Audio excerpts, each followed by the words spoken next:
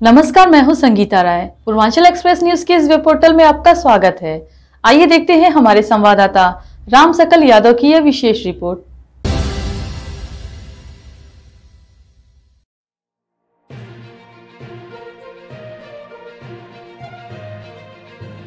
सोमवार की शाम को राष्ट्रीय स्वयंसेवक संघ गोरज प्रांत के संघ शिक्षा वर्ग प्रथम वर्ग सामान्य के विद्यार्थियों द्वारा नगर में पथ संचालन कार्यक्रम संपन्न हुआ।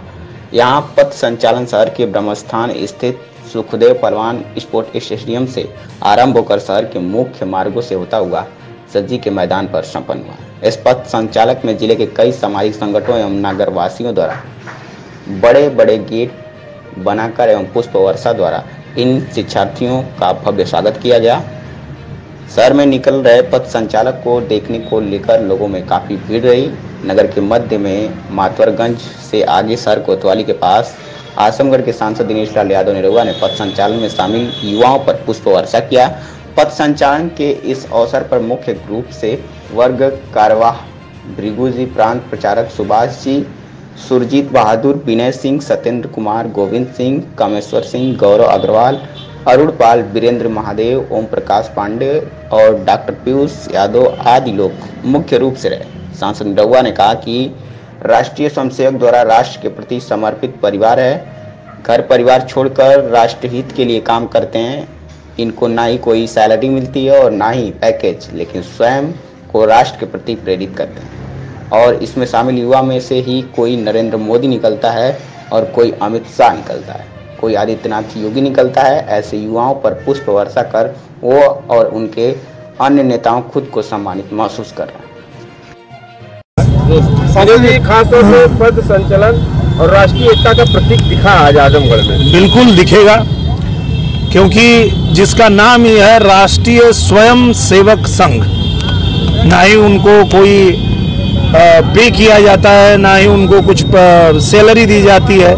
लेकिन वो स्वयं से देश की, राष्ट्र की सेवा करने के लिए अपना घर परिवार छोड़ के और ये शिक्षा लेते हैं और शिक्षा लेने के बाद पूरे देश के, राष्ट्र के हित के लिए काम करते हैं। और ऐसे ही हमारे जो विद्यार्थी हैं, उन्हीं में से कोई मोदी जी निकलता है, कोई योगी जी निकलता है, कोई अमित शाह निकलता है कोई ध्रुव सिंह निकलता है कोई निरहुआ निकलता है। जो देश के सेवा में अपने आप को खपाता है तो निश्चित रूप से आज ये जो बच्चे प्रशिक्षण ले रहे हैं उनके ऊपर पुष्प वर्षा करके हम और हमारे अध्यक्ष जी हमारे पार्टी के सभी अजय भैया हमारे गुड्डू मिश्रा जी भारतीय जनता पार्टी के जितने पदाधिकारी हैं वो सभी लोग यहाँ उपस्थित थे और उनके चरणों में हम लोगों ने पुष्प वर्षा करके उनका स्वागत अभिनंदन किया है। पूरी जनता ने भी पुष्प वर्षा की और आप भी उसमें थे।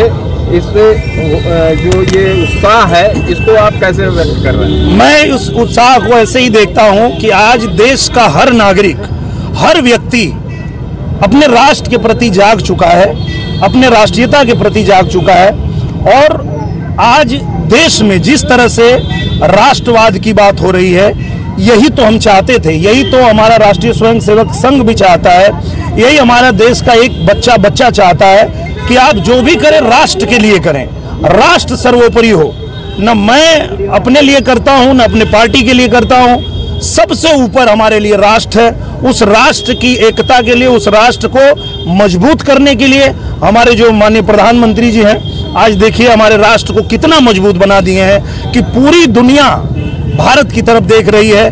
किसी भी विषय में कुछ भी उनको अगर होता है तो वो भारत की तरफ़ देखते हैं कि भारत के नेतृत्व में ही सब कुछ होने वाला है। तो इतना हमारा राष्ट्र मज़बूत करने के लिए प्रधानमंत्री जी को कोट कोट से नमन करते हैं और सभी स्वयंसेवक संघ के जितने भी पदाधिकारी हैं, जितने अधिकारी हैं, जितने प्रशिक्षक हैं, जितना शिक्षार्थी हैं, उनको भी कोटि कोटि बधाई देते हैं।